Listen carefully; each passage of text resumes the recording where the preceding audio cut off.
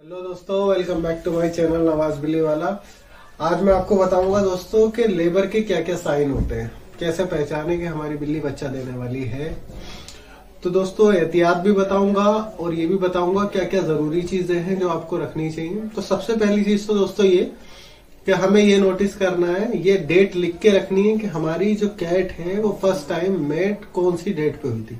Suppose करिए कि आज नौ तारीख है, या दस तारीख है। तो अगर आज आपकी केट मेट हो गई तो अब आज से साठ दिन आपको काउंट करना है। साठ दिन के बाद मतलब साठ दिन के बाद वो कभी भी डिलीवरी दे देगी। तो आपको क्या करना है, पचपन दिन होते ही आपको एक बॉक्स लेना है, जैसे गत्ते का बॉक्स आता है, जो कार्टून टाइप का आता है कार्टन टाइप आता है ना, वो ले लेना है और वो आपको अपने घर में रखना है टीवी का हो, किसी भी चीज़ का हो, साफ़ सुथरा करके उसे ऊपर से कट कर देना है और नीचे का बेस बेस छोड़ना है। ठीक है ना? इस टाइप का कार्टून ले लेना है। कार्टून लेने के बाद उसके अंदर एक आपको कपड़ा बिछाना है कॉटन का, जो कि बिल्कुल साफ़ सुथरा हो, गंदा बिल्कुल ना हो।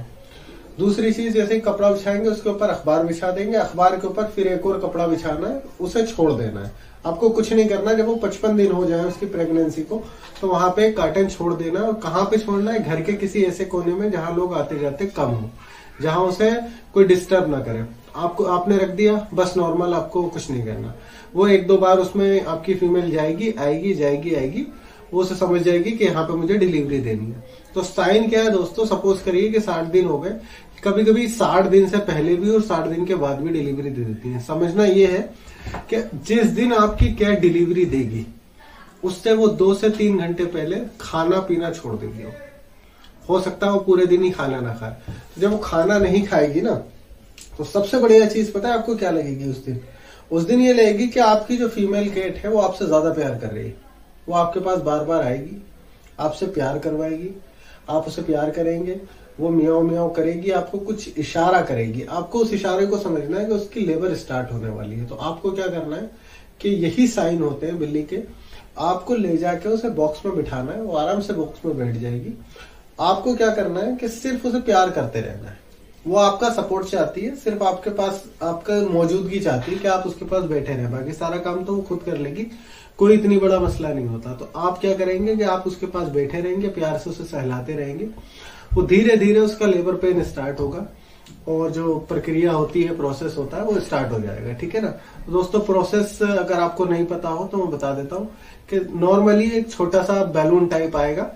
पहले वाटर का, वो फूट जाएगा, उसके बाद धीरे धीरे बच्चे आएँगे। तो उसमें एक घंटा भी लग सकता है, दो घंटे भी लग सकते हैं और तीन घंटे भी लग सकते हैं। उसमें आप परेशान मत होइए। कभी कभी ऐसा होता है कि पहला बच्चा हो गया, दूसरे बच्चे में आपको काफ़ी टाइम लग रहा है, ठीक है? तो ऐसा भी नॉर्मल है। तो आपको क्या करना है, आपके पास ज़रूरी चीज़ें क्या होनी चाहिए? ये तो हो गए साइन कि ये होते हैं लेबर के साइन ज़रूरी चीज़ें क्या क्या होनी चाहिए? आपके पास होना चाहिए टिश्यू पेपर ठीक है?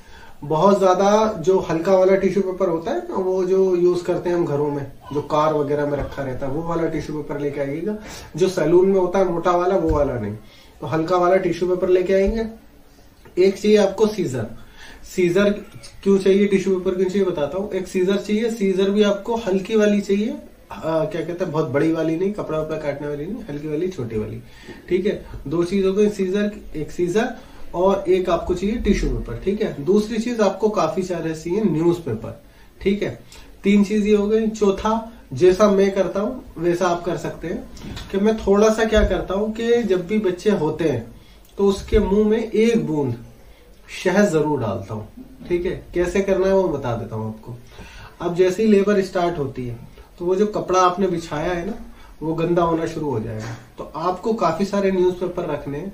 आपको उसे ना उसकी बॉडी पे ज़्यादा इन्फेक्शन लगने नहीं देना है। वो अगर आप नहीं चेंज करेंगे उसके नीचे का तो बार बार वो उसकी बॉडी पे लगता रहेगा। तो आपको क्या करना है कि हर 10-15 मिनट बाद जैसे ही गंदा हो जाए, फ़ौरन ही आपको उसे निकाल के उसका न्यूज़पेपर चेंज कर देना है, ठीक है? दूसरे लगा देना फिर दोबारा गंदा हो जाता है, फिर हटा के। तो न्यूज़पेपर आ गया इस काम में। जैसे ही बच्चा होता है, बच्चा होते ही आपको क्या करना है टिश्यू पेपर से उसे पूरी तरीके से ड्राई कर लेना है, ठीक है? ड्राई करना है और उसका टिश्यू पेपर जो है उंगली में रैप करके या फिर वैसे ही नॉर्मल उसके मुँह में डाल के, उसके मुँह में अगर गंदा पानी है तो वो उसे सक कर लेगा टिश्यू पेपर ठीक है? दूसरी चीज़, नाक को भी थोड़ा सा दबाइएगा तो उसमें से बच्चे के नाक में से पानी निकल जाएगा, ठीक है? तो टिश्यू पेपर आ गया इस काम में। फिर उसके बाद अगर आप चाहें, वो आपकी मर्ज़ी के ऊपर है कि आप सिरिंज लेके, एक एम की सिरिंज लीजिएगा, बहुत पतली वाली सिरिंज जो आती है, उसे उसमें एक एम सिर्फ़ शहद लेना, एक बूंद बच्चे के मुँह में डालनी। उससे क्या होगा कि उसका जो ज़ुबान होगी, वो चलाना शुरू कर देगा और वो एक्टिव हो जाएगा, ठीक है ना? तो आपको ड्राई कर करके बच्चे साइड में रखने, एक हो, दो हो, जितने भी हो ड्राई करके आप साइड में रख देंगे। जब माँ पूरी तरीके से फ्री हो जाएगी, फिर उसके बाद डाल देंगे माँ के पास। तो ये हो गया आपका टिश्यू पेपर हो गया सीजर का काम हो गया और आपका शहद का काम हो गया, ठीक है ना?